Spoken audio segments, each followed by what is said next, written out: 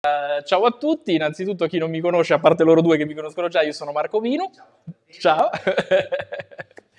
allora, quest'oggi facciamo una sessione veloce per introdurre la uh, Azure Cloud Shell e quindi come possiamo utilizzarla per gestire al meglio le eh, risorse della, delle nostre sottoscrizioni, comunque le nostre risorse cloud.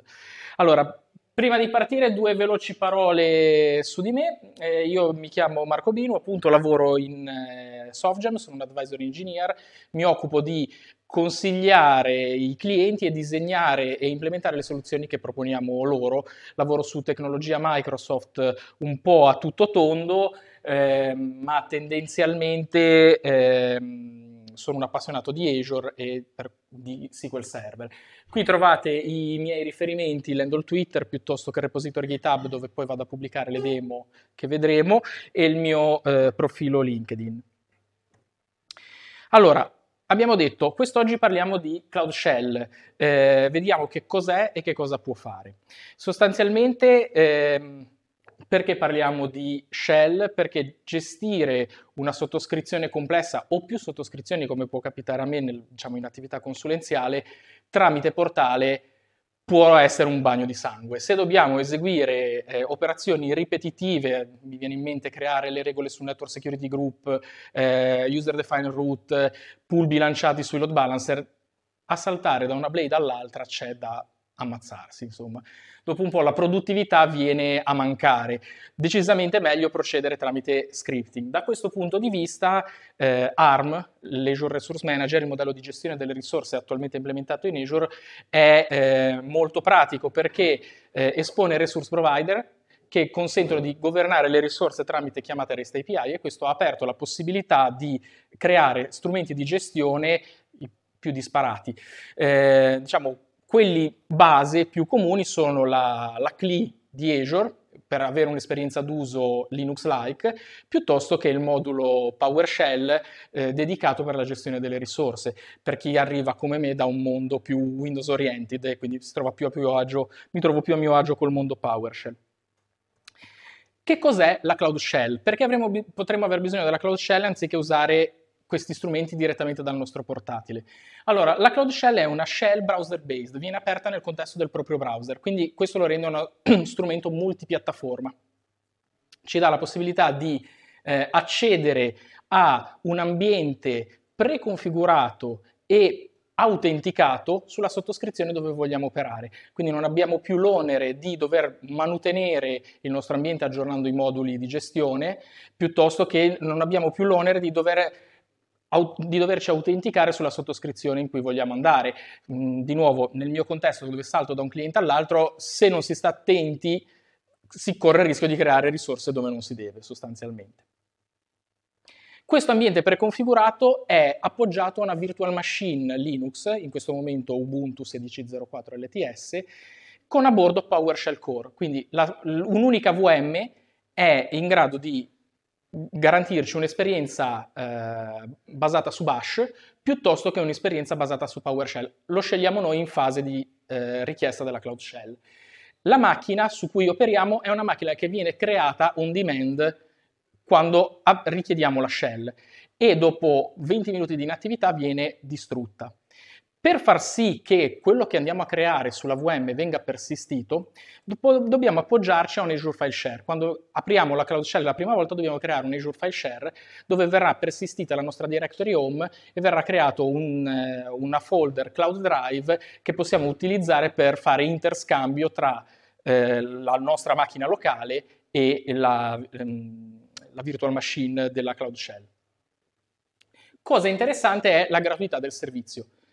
Essendo un è un servizio gratuito ed è particolarmente interessante paragonandolo a eh, una virtual machine eh, che possiamo distribuire all'interno della nostra sottoscrizione a uso console. In quel caso noi paghiamo i costi di compute, paghiamo i costi di storage e tutto quanto concerne. Eh, in questo caso la, la, virtual machine è completamente gratuita, andiamo a pagare solo la componente di storage che impegniamo, che tipicamente sono quisquiglie. Cosa ci possiamo fare? Ci possiamo governare i nostri ambienti cloud. Eh, lo facciamo, qui io declino la sessione nel mondo PowerShell perché è quello a me più congeniale, ma sotto Bash con la CLI e quant'altro possiamo ottenere più o meno gli stessi risultati, si tratta solo di gusti personali alla fine. Su, nel, all'interno di PowerShell possiamo trovare moduli già precaricati, il modulo AZ, il modulo di gestione di Azure Radice, il modulo di gestione di Power BI, piuttosto che del, di Office 365. E, e abbiamo accesso comunque alla PowerShell Gallery tramite un install module o un install script possiamo tirare giù contenuti dalla PowerShell Gallery, quindi possiamo customizzare il nostro ambiente. Eh, viene generato all'interno della Cloud Shell un eh, Azure Drive basato su un provider di PowerShell che sostanzialmente ci espone il contenuto della nostra sottoscrizione come se si trattasse di un file system. Possiamo navigarlo con comandi DOS-like, diciamo. All'interno sempre della virtual machine troviamo ulteriori tool di eh, controllo di eh, containerizzazione piuttosto che editor di testo, piuttosto che gestione del versionamento del codice e quant'altro, che ci aiutano nella nostra operatività. Questo è uno strumento mh, tendenzialmente universale perché avendo io una Cloud Shell mh, basata su PowerShell, nessuno mi vieta di caricarvi all'interno il modulo di eh, gestione di AWS eh, per PowerShell eh, Core, e quindi caricandolo quello all'interno della mia Azure Cloud Shell io posso governare ad esempio risorse su AWS, quindi cross cloud provider. Nella shell sono supportati i linguaggi riportati nel, all'interno di questa tabella e abbiamo diversi punti di accesso per accedere a questo strumento. Possiamo passare direttamente dal portale di Azure, piuttosto che possiamo invocare il, il, la URL shell.azure.com, vedremo come accedervi dalla mobile app di, che funziona sotto iOS o sotto Android, possiamo interagire con Visual Studio Code e molto interessante lavorare direttamente dalle pagine della documentazione della CLI piuttosto che di, dei moduli PowerShell o da Microsoft Learn. Vedremo come side by side si apre una finestra di console all'interno del quale possiamo provare live il codice che leggiamo nella parte di documentazione. Una cosa non è chiara, tutto il giro. Eh, quando io diciamo sì, faccio questa parte di autoistruzione utilizzando gli endpoint che stanno nell'Azure CLI e mm-hmm. nell'Azure PowerShell Documentation, vado in qualche maniera a utilizzare anche lo storage che ho predisposto dove potrei aver conservato. Sì, quando tu apri, la, lo vediamo dopo, ma quando tu fai, premi il bottone try it, ti fa fare la login con il tuo eh, account Azure e di conseguenza ti mette nel contesto della tua sottoscrizione. Nel contesto della tua sottoscrizione avrai la tua Cloud Shell che punta alla tua Azure File Share, quindi vedi il tuo ambiente sostanzialmente, provi in casa tua. Ecco. Allora, direi che di parole ne abbiamo fatte a sufficienza, andiamo a vedere dal vivo come funziona. Allora, accediamo alla Cloud Shell banalmente cliccando sul bottoncino magico. Io qui mi sono sganciato dalla mia esperienza utente tipica, quindi ricomincio da capo come se fosse la prima volta. Mi viene chiesto se voglio andare in Bash o in PowerShell. Questa opzione è poi eh, diciamo, gestibile a posteriori anche questa diciamo la preferenza con cui partiranno tutte le cloud shell. Scelgo la mia sottoscrizione e se faccio create storage mi crea uno storage account con dentro una file share con dei nomi, eh, diciamo quelli belli con quei guidi immensi in fondo. Se facciamo advanced abbiamo la possibilità di utilizzare invece nomi un po' più cristiani. Nel mio caso io ho già tutto pronto e quindi mi aggancio a uno storage preesistente. Ora, mi viene creata la, la, VM per la prima volta, è un processo che dura qualche secondo, poi normalmente a runtime è molto più veloce l'accesso alla Cloud Shell. Qui si sta collegando, sta generando la mia VM Linux con a bordo la PowerShell. Allora, tanto vi racconto qualcosa, qui ci troviamo, tanto la finestra è ridimensionabile, eh, sufficientemente grande il testo? Mi sembra di sì. Allora, eh, qui abbiamo Poss- la possibilità di saltare da una sessione all'altra. Le viene generata sostanzialmente una nuova istanza di macchina in Bash, se passiamo a Bash, che condivide comunque l'Azure eh, File Share, per cui i file li vediamo sia da una parte che dall'altra. Abbiamo un tasto per riavviare l'esperienza utente, quindi resettare il tutto se ci si incarta. Abbiamo un minimo di configurazione per eh, il font size e il tipo di font, e altri bottoni che vedremo strada facendo. Quando si apre la shell ci troviamo dentro quell'Azure Drive che vi, vi, dicevo consente di navigare la sottoscrizione come se fosse un file system. Se io qui faccio un dir, vedo le sottoscrizioni di cui ho visibilità con questo account con cui sono loggato. Entro nella mia di sviluppo e da qua posso vedere le virtual machine. Entro in resource group e vedo i resource group che ho sulla sottoscrizione. Voglio fare un'esportazione? Posso utilizzare i comandi eh, PowerShell. Qui cosa abbiamo a bordo? Abbiamo un po' di moduli,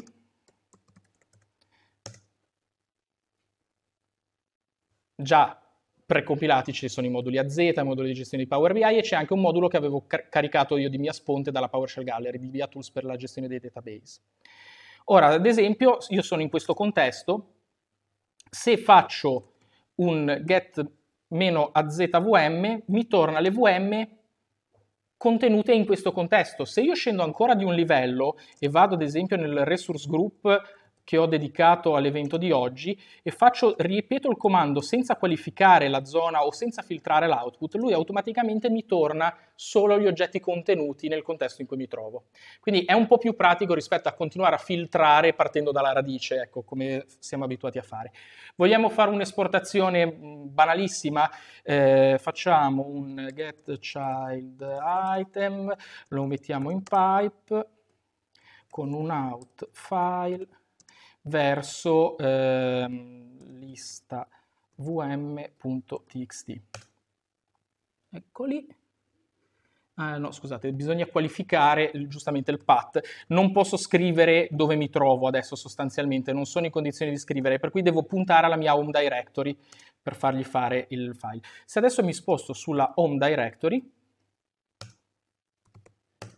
troverò il mio lista VM, posso fare banalmente un type, c'è il contenuto, posso esportare il file.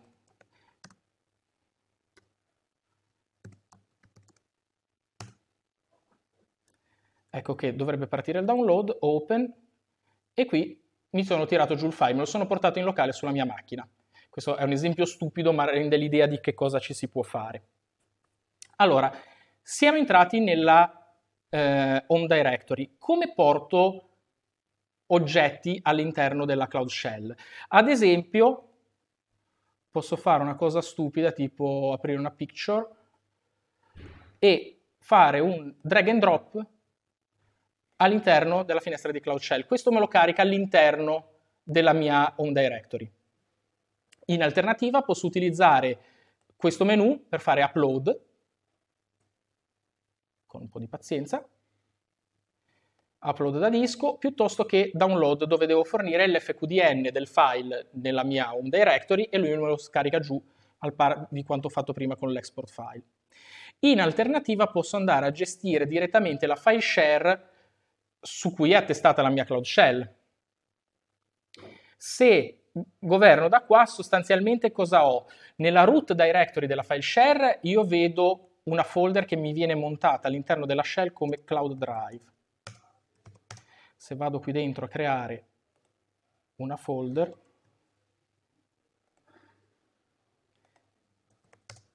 me la ritrovo dentro la macchina. Quindi posso uploadare file all'interno di, eh, di, questo Mount Point Cloud Drive tramite AZCopy, eh, Azure File eh, Storage Explorer, chi più ne ha più ne metta. Il, tutto il resto invece che scrivo nella root della mia home directory viene archiviato all'interno di questo file img. C'è un'immagine da 5 GB che rappresenta la mia home directory, sostanzialmente. Quindi io, quello che è nella root della mia home directory non ho una visibilità diretta, devo passare prima per la cloud drive. Altre cose che posso fare, posso sfruttare gli strumenti che ho in dotazione a bordo per, ad esempio, clonare eh, un repository Git. Se riprendo il controllo, git clone eh,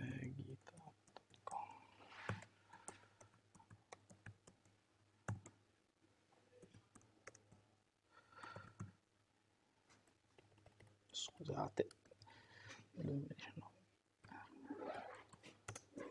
Se ci ho preso si tira giù il contenuto del mio repository con le demo.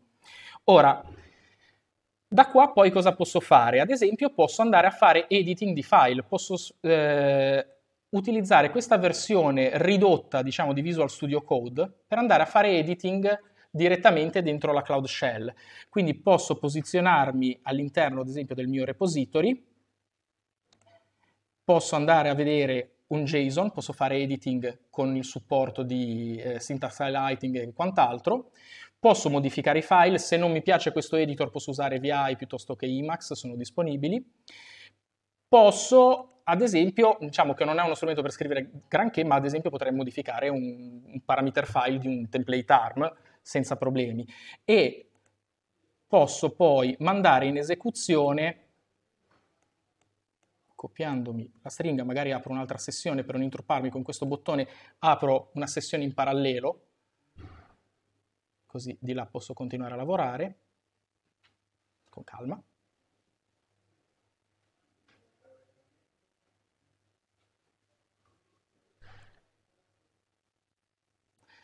Shift ins. E qui lancio un deployment di un ARM template. Tenete presente che qui abbiamo un timeout di sessione a 20 minuti. Se lanciamo operazioni interattive potrebbero essere troncate da un momento all'altro. Nel caso del deployment di un ARM template non è un problema perché fatto questo sostanzialmente poi stiamo parlando con il resource provider, quello si prende in carico il template e lo deploya. Ma se facciamo attività eh, diciamo eh, long running activities potremmo avere dei problemi. È più pensata per attività eh, spot di amministrazione. Mentre quello parte, dovrebbe dopo un po' uh, get job job. Vediamo se ha finito, non ha ancora finito. Vabbè ve lo posso far vedere da qua. L'idea è che poi io da qui posso accedere alle mie eh, risorse per esempio. Con il template che ho lanciato prima ho generato un eh, Azure SQL Database, vediamo se nel frattempo ha finito, ma che ovviamente quando hai bisogno effetto demo. Allora, se adesso vado a prendermi la connection string del mio Azure SQL Database, posso fare attività da dentro la Cloud Shell verso il, l'Azure SQL Database. Ovviamente devo crearmi le aperture del caso, a livello di, di porte e di quant'altro. Ecco. Eh, close editor, così abbiamo un po' più di spazio. Posso ad esempio utilizzare quel modulo eh, di BA-Tools che avevo caricato in precedenza, fare un get dba database SQL instance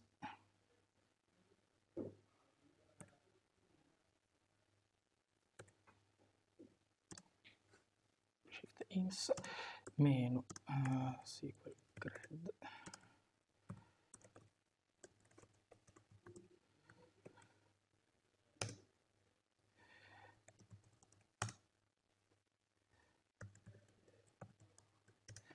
e se tutto va come deve ho, mi sono fatto tornare la lista di database dalla Cloud Shell verso l'Azure SQL Database. Questo è una cosa che può eh, essere d'aiuto per fare un intervento al volo, capire come sta andando, interrogare lo stato di una risorsa. Altre cose che posso fare, qui a bordo ho, ehm, ho la... Ehm, eh, ho l'applicazione SSH, quindi posso collegarmi in SSH su una VM Linux, per esempio, passando tramite il suo IP pubblico. Nelle demo ho preparato SSH, uno script che genera una VM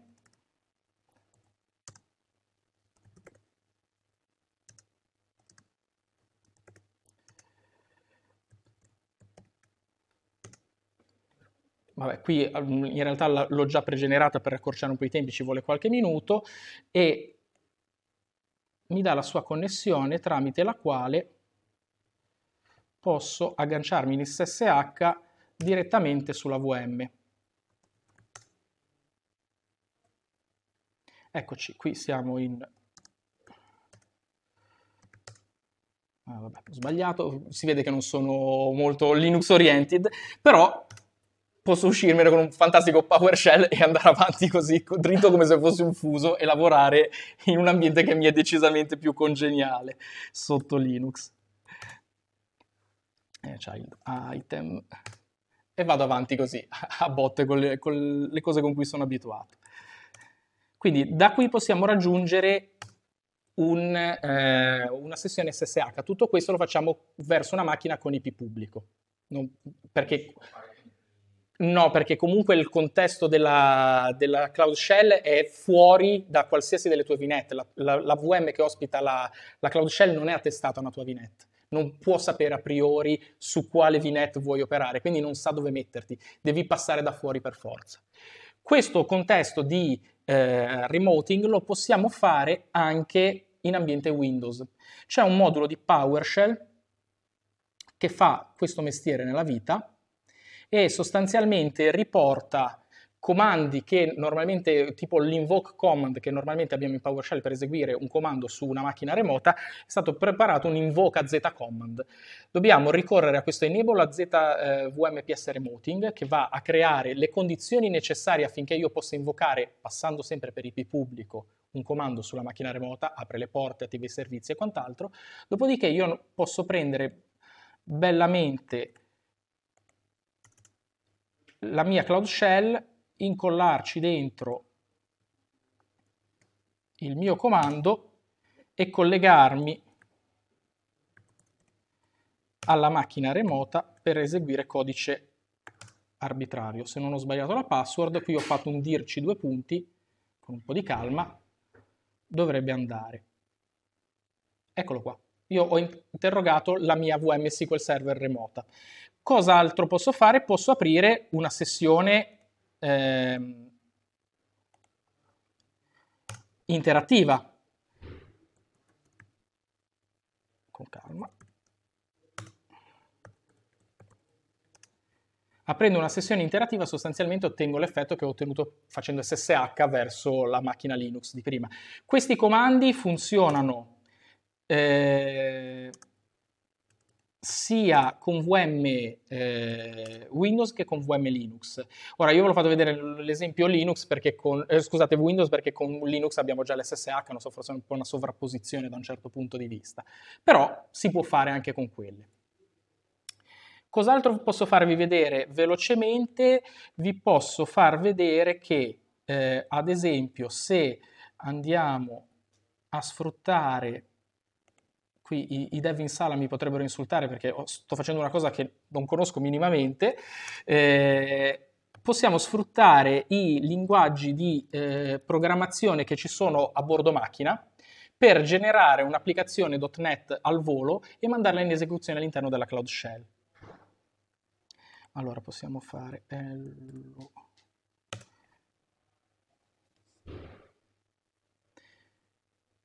Questo genererà lo scheletro di un'applicazione .NET e la manda in esecuzione. È running, eccolo qua, è operativo. A questo punto posso usare quest'altro bottoncino, Restore Succeeded, no, non è ancora operativo, Comunque questo sostanzialmente attiverà la web app sulla porta 2226 in locale qui dentro la, la Cloud Shell. Posso usare quest'ultimo bottoncino che mi fa vedere la web preview. Vediamo se è già partito.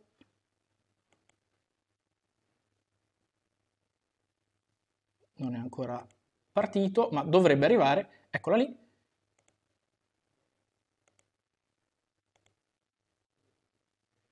Ed ecco qua la nostra web app che gira nel contesto della Cloud Shell. Quindi qui basta poi trovarci uno scopo nella vita, questa roba, però si può fare anche questo. Eh, ultime cose, allora, abbiamo detto punti di accesso diversi per eh, la Cloud Shell. Oltre a gestirla tramite portale o tramite la URL dedicata, possiamo passare eh, ad esempio dentro eh, Visual Studio Code. Da qui, tramite l'estensione Azure Account, possiamo aprire la eh, Cloud Shell direttamente all'interno di Visual Studio Code e quindi puoi eseguire codice da qua dentro senza necessità di passare da fuori.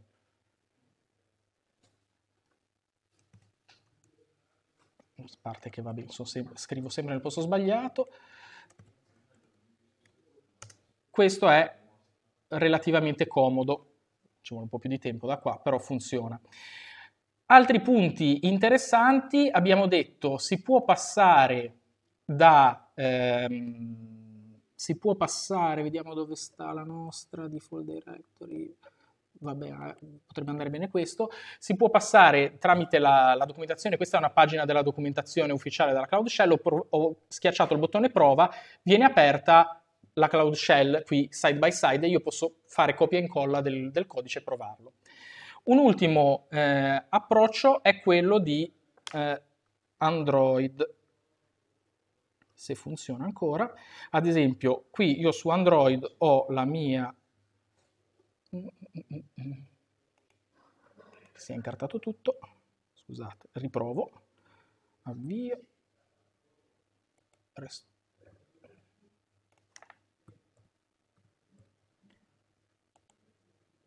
eccoci qua.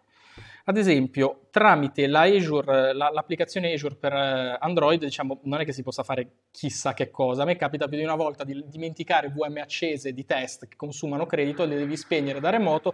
Che fai? Con, con l'app le puoi spegnere, ma le spegni una alla volta, è un po' laborioso. Qui, se adesso funziona il tutto, faccio vedere come si può lanciare la Cloud Shell e avere un'esperienza utente al pari di quella che abbiamo via browser.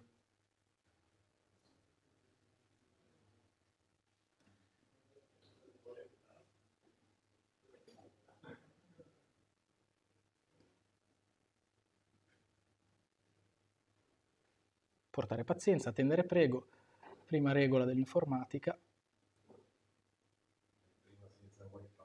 Eh no, devo tenerlo in wifi per proiettare lo schermo, era la combo migliore che ho trovato a costo zero per farlo, quindi statevene. Comunque con pazienza arriva. Ora, da qui pensare di aprire la mia tastierina di Android per digitare comandi PowerShell fa caldo, si fa, sì perché si fa tutto nella vita, ma fa caldo. Però se voi siete smart e vi preparate dentro il cloud drive degli, dei runbook, degli script PowerShell, non dovete fare altro che invocarli, è, è bello che è fatto il discorso, ecco, insomma. A parte che... Get azvm e con un po' di pazienza arriverà anche replicato funziona anche da qua, funziona da qua, funziona sotto iOS, eh, quindi è uno strumento di gestione universale, secondo me è veramente una cosa interessante ecco, come, come strumento. Bene, torno sulle slide per chiudere, vi lascio con qualche informazione, qui c'è un, la documentazione ufficiale, c'è un bel blog post di Thomas Maurer che spiega più o meno le cose che vi ho raccontato io oggi eh, e trovate le demo su questo repository GitHub. Grazie di tutto e buon proseguimento di giornata. Se avete qualche domanda sono qua, eh, liberissimi.